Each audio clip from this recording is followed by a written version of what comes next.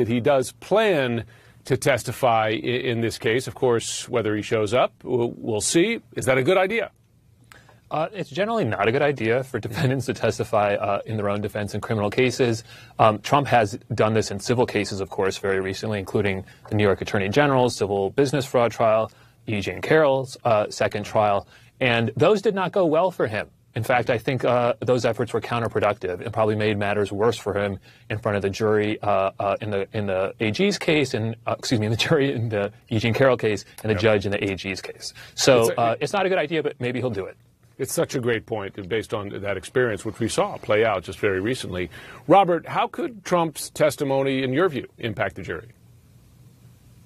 Yeah, Jim, thanks for having me. Well, look, if he's really getting buried by the evidence in the case, he may not have a choice. Personally, uh, I don't think he ever serves himself well by testifying.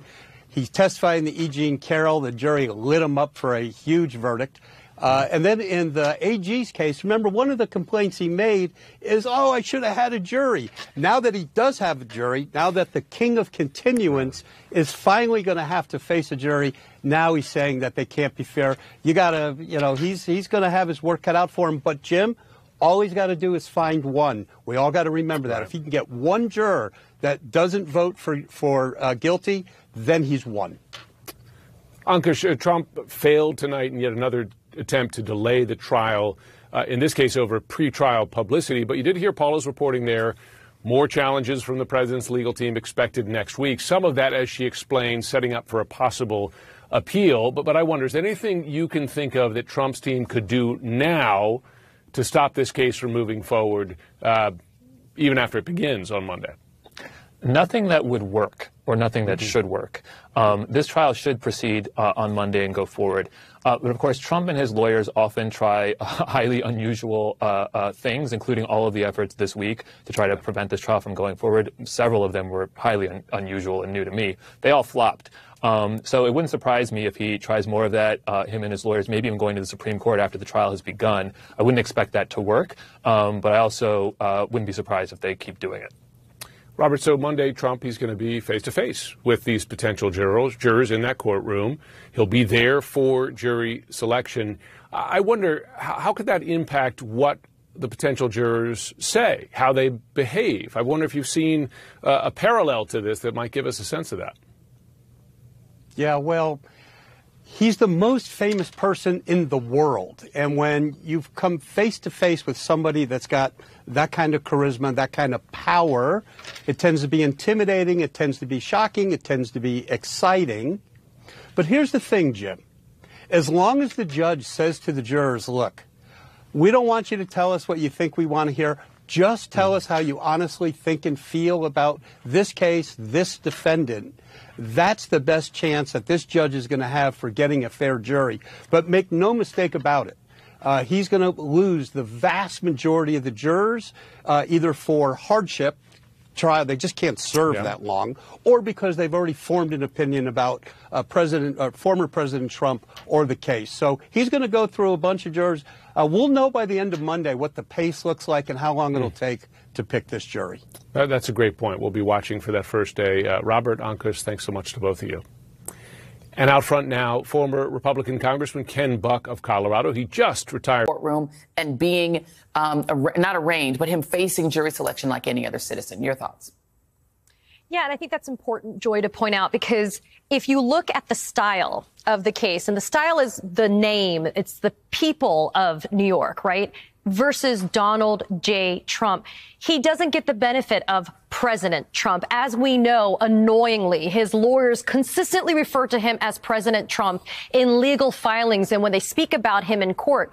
But it is the humbling moment when he has to sit at counsel's table, not by choice, but by law and required procedure. When he is referred to as criminal defendant Donald Trump, that the playing field is truly leveled. And that is when accountability comes a knocking and hard. Because the voir dire process, the jury selection process, all the way to the verdict being rendered against him is something that affects thousands of Americans on a daily basis.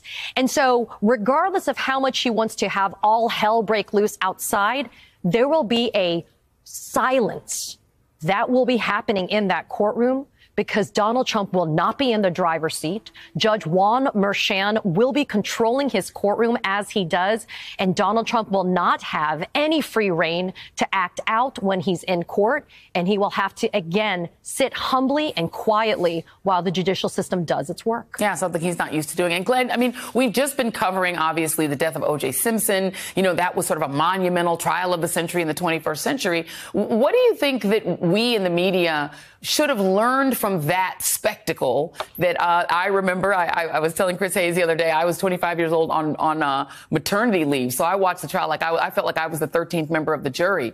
Um, but what do you think that we in the media should learn from that coverage of spectacle? Because the way in which Trump is not like every other American is the same way OJ was not like every other American. He's a celebrity. And on top of that, he's a former president. What should we learn as, what should we think about as we're watching that spectacle? You know, I, I think we should we should focus on the fact that the rule of law matters. The rule of law is one of the things that makes this country great, that makes us a civilized people. And I firmly believe we're in a really important moment because our nation will be stronger for a former president of the United States who committed all kinds of crimes. He's indicted 88 times over. The evidence in my assessment, even that's just been publicly reported is overwhelming.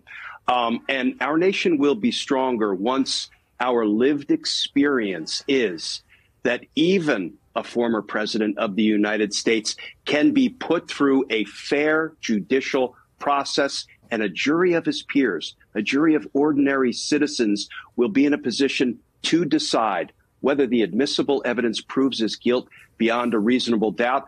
I believe he'll be held accountable. I believe he'll be convicted. But one way or another, our nation will come out the other side of this so much stronger for just having gone through the exercise of putting a criminal former president on trial. Yeah, and you know, Bobby, I, you know, I wanted to bring you in. I know you've written a lot about this because I think it is a normalizing thing. I think Americans sometimes want exceptionalism so badly that they forget we're part of the world.